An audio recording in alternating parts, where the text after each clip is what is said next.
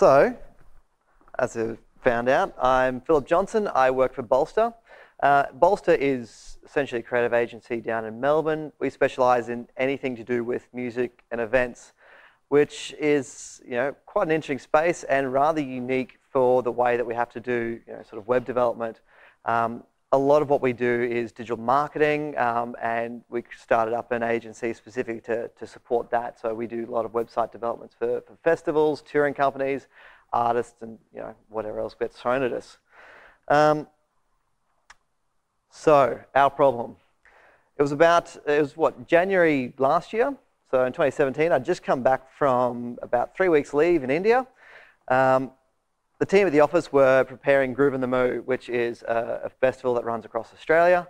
Um, there was a couple of days till launch, and I pretty much came in last minute to, to you know, get it across the line, make a couple of changes, and really try and steal all the glory.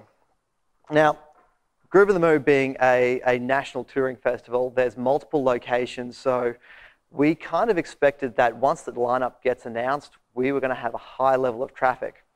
So the guy at the time decided, cool, what we'll do is the client will connect to a load balancer. That load balancer will then, you know, have multiple EC2 instances on AWS, and those EC2 instances will have an RDS database and have all our uploads going to an S3 bucket.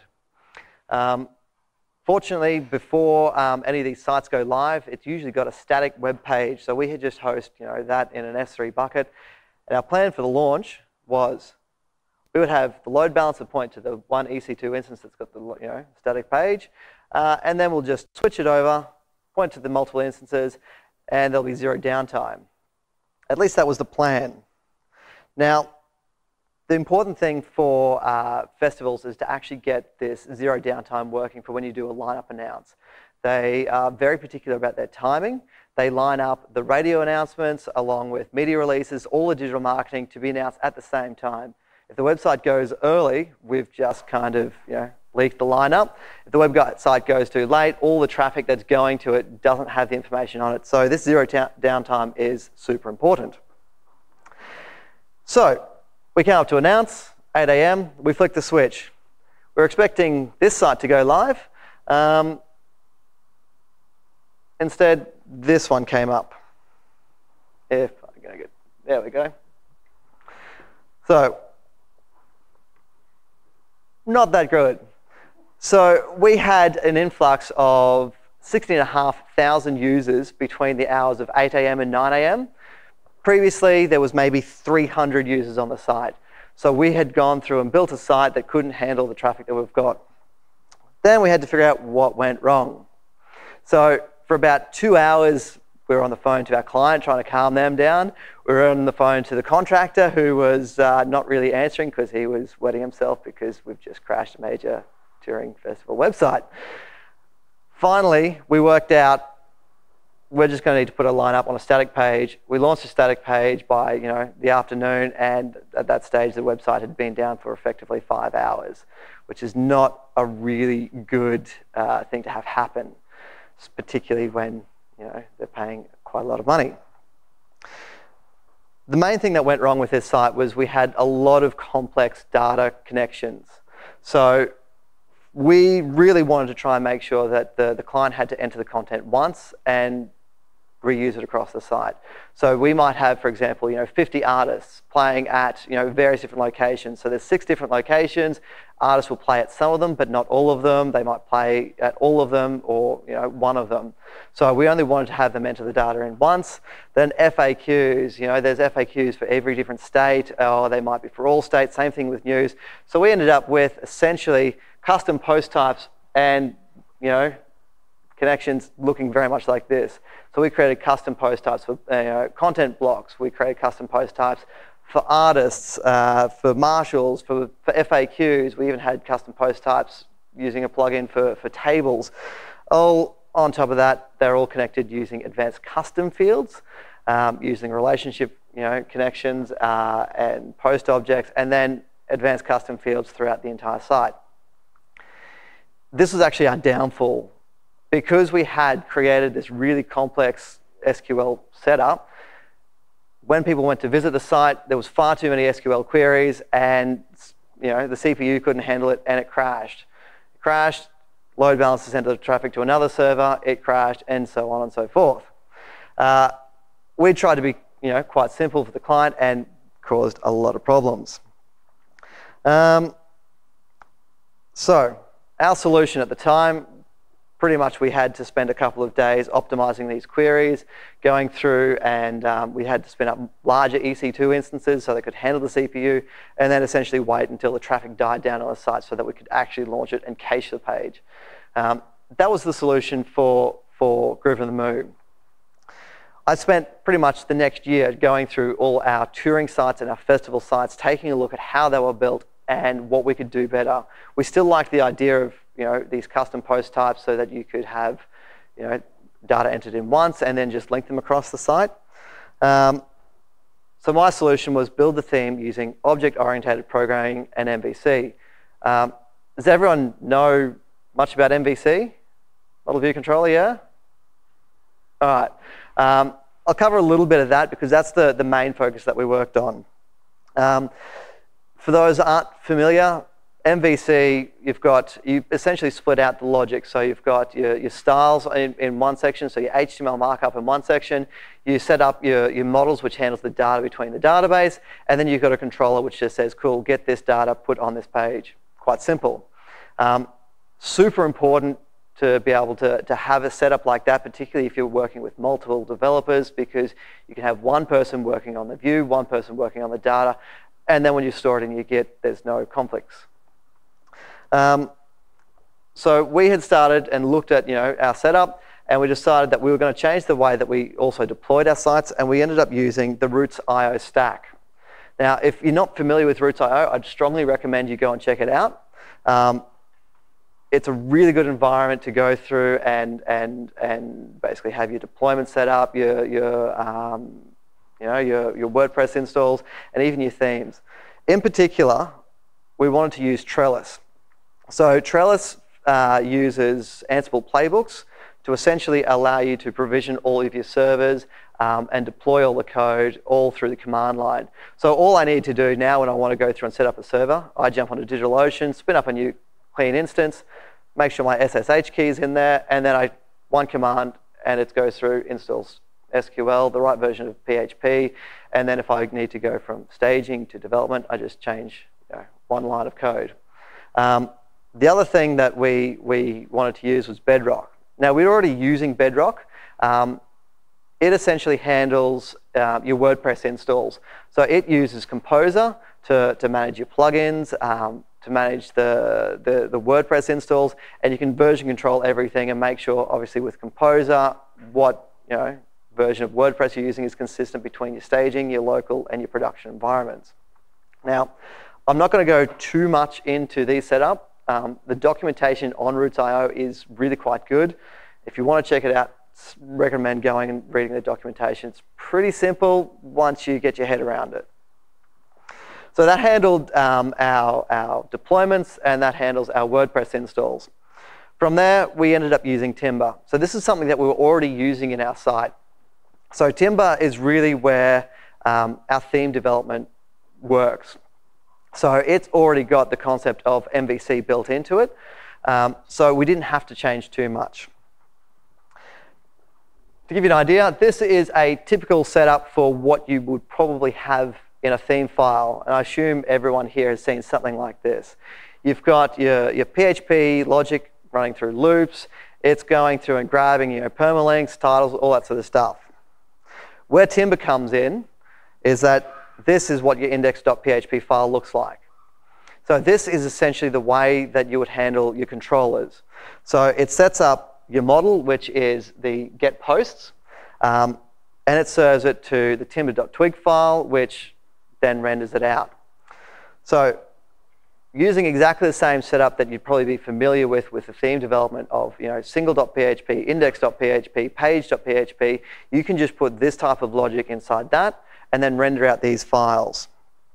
So this is what your Twig file looks like. Um, so have, has anyone used Twig before for, for templating? Excellent, yeah. Um, you'll probably be familiar with this sort of stuff. So you can basically, it's very similar to the original index.php, but you don't have to run through you know, while loops. You're not trying to query um, the, the database from your theme file. The other advantage is with, um, with Timber is you've got these caches. So it's got you know three main types of caches. You can do a partial cache, which allows you to collect you know just some stuff and stores it, um, and that's what's going on in this. So it's got you know your post loop. That way you don't have to query your post every single time. It's got a page cache. So a lot of you might be familiar with this. This will essentially basically once you load the page, it converts it to HTML. So instead of serving um, you know, PHP, it'll serve a static HTML page for you. And this is quite good for you know, any sort of stuff. Then you've also got transient cache. So built into WordPress, you'll probably be familiar with transient cache. This kind of takes that concept and um, makes it simpler. So this is probably where I'm going to dive in a lot more. So if you're not really a programmer, I'm sorry. Hopefully you'll, you'll pick up something from this. Um, otherwise, the talk next door is pretty good. The speaker's quite, quite interesting. um, so this is, this is a, a, transient cache. So the transient cache will allow you to do all your PHP logic. Um, and instead of going through and, and running that every single time, at this one, this will store it for 600 seconds, which is the section at the bottom. It will then go through and mean that anytime you call a transient tour, it'll return the, uh, the, the logic that you've already gone through and worked out. So you don't have to go through um, and run through loops or anything like that. Now, this is, this is a good start. And if I'd used any of these three caching methods within Groovin the Moo, we might not have crashed. But we didn't think about that. Um, and we regretted it. um, we went through, I went through and basically took a look at this and went, well, for best practices, you probably want to separate out you know, this kind of logic and put this into your models. Um, you know, single responsibility principle says, you know, you shouldn't be doing stuff like this in your controller. So I went through and simplified it. So I created an object specific for our tours that had all the data in it. And so now inside my tour.php is something very similar to this. Now, if you've used Sage before, which is the, the root stack, um, they use a, a, composer plugin called, um, what is it? Uh, it's by SoberWP called Controller. Um, that's really good if mainly what you're focusing on is um, you know, single page data. So for me, it wasn't quite right because we've got lots of complex relationship through post types. So I wanted to create models for tours, artists, shows, and that connected then with the venues, the stages, all those sorts of other connections. So for me, the, the sober controller didn't quite work. Um, I did play around with it. Instead, I went, well, I want something similar to what Timber is already doing. So this is essentially what I came up with. So we went through and created a tour model so, and extended it off the existing Timber post. By doing that, I was able to utilize all the stuff that Timber had already put in place for its models. So for example, if you, I wanted to go through and use an ACF field, Timber's already handled the way that you call that. It's just you know, post.acf field name. Um, all I did here was take the logic from this transient cache. So that loop, which goes through and gets all my shows and sets up the shows as, as you know, a, a model, and I put that into my class. So by doing this, all I need to do now is in my theme, I can go through and say tour.shows and do a loop on that. So that's gone through and set it all up. It's gone through and allows me to cache it, and I don't have to worry about you know creating you know complex relationships and saying get field every single time I want to use this sort of stuff. Um, my setup uses namespacing. So normally you would probably go through and say, you know, this requires you know, tour.php. I've got a, name, uh, a namespace and um, an autoloader, which basically gets anything.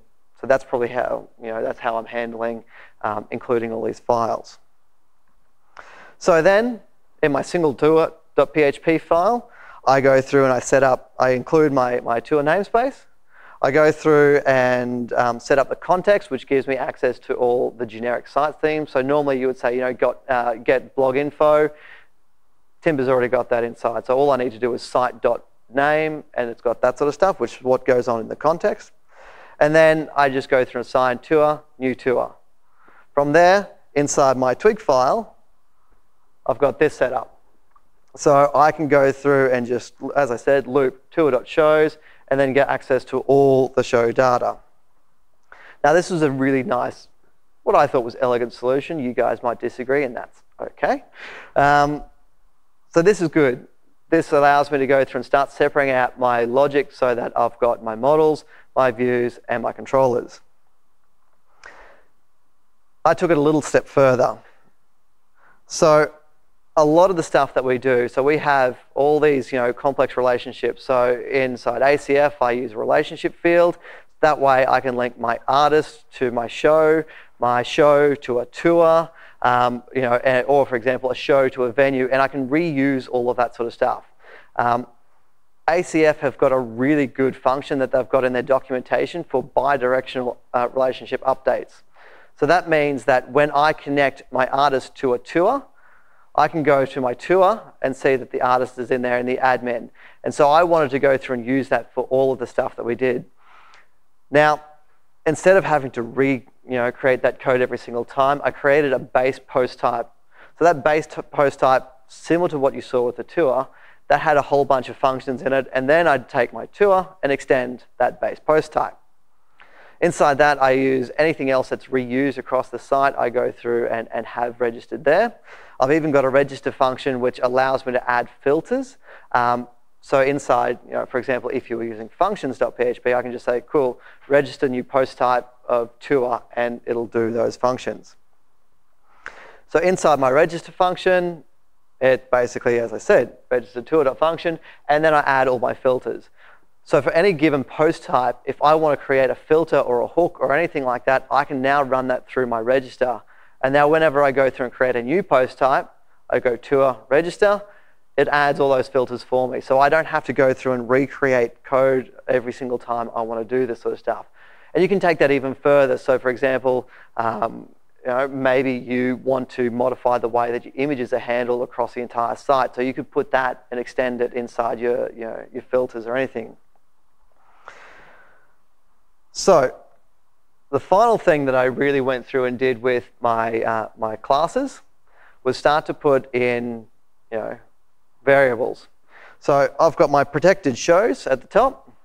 And so now when I go through and run that shows query, which gets all the fields and, you know, for shows and sets them up, I assign it to the variable.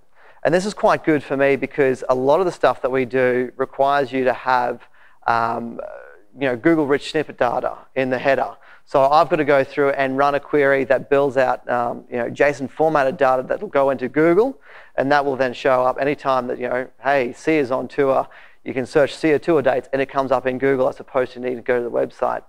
So we're reusing the same, you know, variables every single time. So instead of querying the database each time, whenever I want to go through and get the shows information, once it's got it once, I just go, this shows. So that way I'm not hitting the database every single time that I need to go through and get this information. It makes things far more efficient, particularly if you're using ACF, you probably find that it can slow down the site because it can be quite intensive. Basically, this gets rid of the need for that because once you've done it once, you don't have to do it again. So, basically, now that I've covered those kind of things, what's the next step? Where do we go from here? So I wanted to then cache all my data. I'm not a DevOps guy. I actually hate DevOps. That's why I'm using Trellis. Um, so for me, caching wasn't that great. So I ended up going with W3 Total Cache. Now, the reason I went with this was because it's super easy to use. Um, some of you might be familiar with the way that caches, that you can use a browser cache, which means that any sort of images or style sheets that you've got, it'll store it in the browser. Um, so that every single time you go to the web page, you've got that. You've also got the ability to do a page cache, which is really good if all you need to do is, you know, you've got a five-page website, it'll store all that page. So instead of hitting the database, it hits that. The problem is, as I said, we use a lot of this complex relationships. So for us, an artist might be appearing at, you know, three or four different locations. If I was using a page cache, I'd have to cache, you know, at least 100 plus pages. And we could have people, you know, for example, with Groovin the Moo, they had Bendigo locations, they had Cairns locations, they had, I can't remember where the rest was, some in Sydney.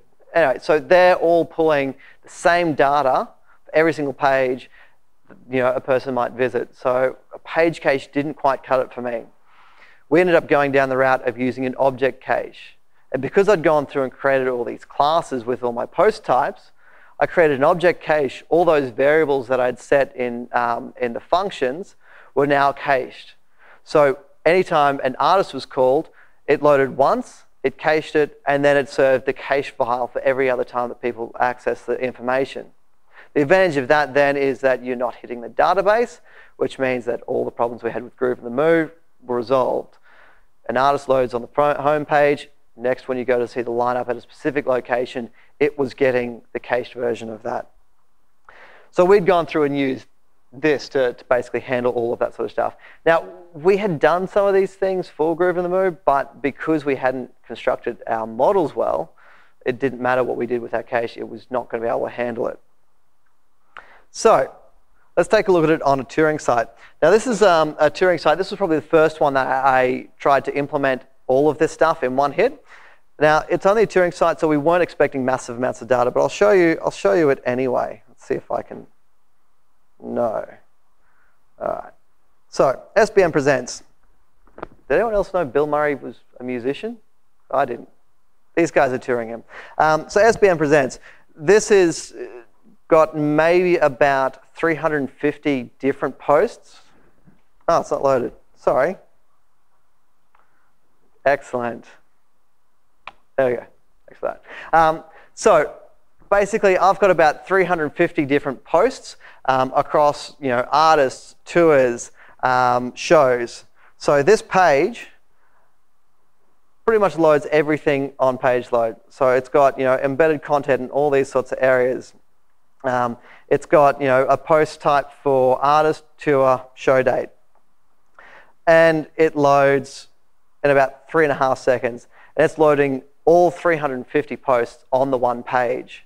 Um, and that's by using this sort of setup. Now, realistically, for past tours, I mean, we're going back to 2004, so it probably didn't need to load all those on page load. I could have done lazy loading, but I was lazy and I didn't. Um, ah, funny.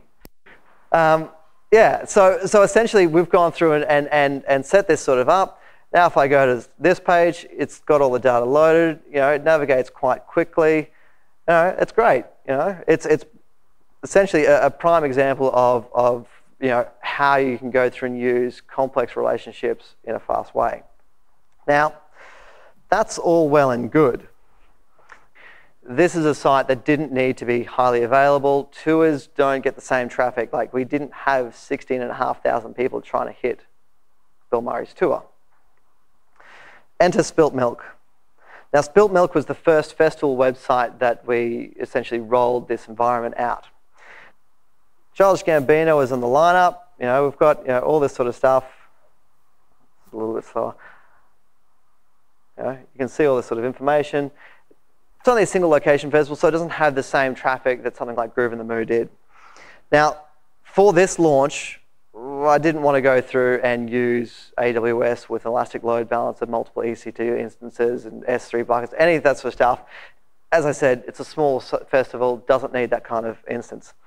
Once again, just like we had with Groovin the Moo, splash page goes up before launch. Always splash page goes up before launch because they want to rebrand it every single year. So I was like, well, splash page, host it on DigitalOcean. We'll put it on you know, the smallest instance possible. It's a static page. So I spun up um, a DigitalOcean droplet, one gig RAM, one CPU, $5 a month. My plan before launch is, cool, I'll go through and spin up a larger version of that instance, deploy all the code. This time, instead of switching it from one location to another, I loaded up um, the splash page in WordPress and all the other data was behind. So all we needed to do was just go, cool, change the home page from the splash to the lineup. That way I didn't need to you know, worry about caching and all that sort of stuff. So that was my plan. Um, launch day came. The night before, got up super early, and I was like, excellent, let's go through up this instance, you know, increase it. Logged onto DigitalOcean, shut down the instance, went to uh, increase it to maybe, you know, two CPUs, a little bit more RAM just to make sure I could handle it. DigitalOcean was having issues and it threw an error. Like, that's okay, I've got time, it's probably just a once off. I'll get up in the morning of launch, up at 6 a.m., same problem. So I've now got a website which is running on the smallest possible VPS that you could buy. Um, and I thought, okay, so what can I do? I don't have time to go through and spin up a new instance and then repoint the DNS. On top of that, I don't think I had access to the DNS settings. So by the time the client was up and understood what I was talking about, that wasn't going to happen because an ounce was at 8 a.m. So I was living on the edge. I'm like, you know what? It'll be fine. We'll see how it goes. So 8 a.m. came around. We went from zero users at uh, between 7 and 8 to 5,500 users at 8 a.m. Uh, flicked the switch and I went through and moved, you know, took down the splash page, put up the loading page.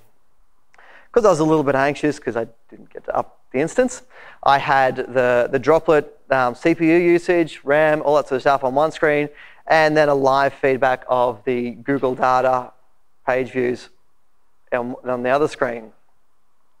As I'm sitting there working on it, uh, I can see the users flooding in. You know, 3,000 users on the site at now. You know, 3,500. I'm starting to feel a bit stressed. Next thing I notice, uh, the CPU starts to spike. It's going up and up and up, and finally hits 99%. So I'm sitting there going, oh gosh, Groovin the Moo, year and a half ago.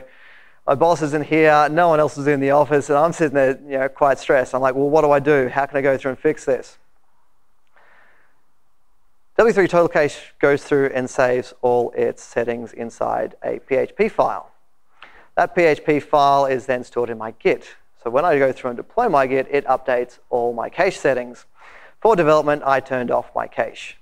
So it took me about 15 minutes to realize that I didn't have any caching on this site for, for this scale of you know, setup. Um, so I went through, quickly logged on to the production server, and I went through and turned on my object cache. And as you can see, it instantly dropped in CPU. Now, between 9 and 10 a.m., we actually had an increase of users. So the fact that it started to drop down to 33% of usage was a really good sign because it meant, cool, by the end of the day, no one's really going to be visiting this site anymore. And it was holding stable. So we had about um, 5,800 users um, I don't know how many page views there were, but basically throughout the entire day we had 60,000 users, and I was running a full, um, uh, full festival website on a $5 a month instance. All that kind of stress made me realize that the code base that I've been working on for about six months was actually quite stable and you know, could be used in a production environment um, with this sort of stuff. It's really good. That made me feel a lot better. So what's next? So when I was going through and playing with these setups, I was looking at object caching and I was like, cool, let's go through and put something like a Redis cache in this. Fortunately for Trellis, it's using Ansible Playbook. So I just went through and said, you know, in the Ansible Playbook, you know, add a Trellis cache. So I went through uh, and just deployed it, installed it, reprovisioned it, and I installed a Redis cache, which then meant in W3 Total Cache, I go to my settings, turn on object cache, use Redis. Now, I know that maybe not everyone is familiar, but basically it means that it's a, it uses your RAM to go through and cache all your objects. So I then had a much, much faster way of, of caching all this sort of stuff and make it high available. Um, the next lot of stuff that we want to be able to do as well is um, put a you know JSON endpoints in. So because I've gone through and created my models, they're extending off that base one, I can turn, off my, uh, turn on my uh, JSON endpoints, which then, which then means that instead of using, for example, um, a Twig templating engine, we could create um, an API service which you know, I could get my React developer to go through and create you know, a really nice React front end.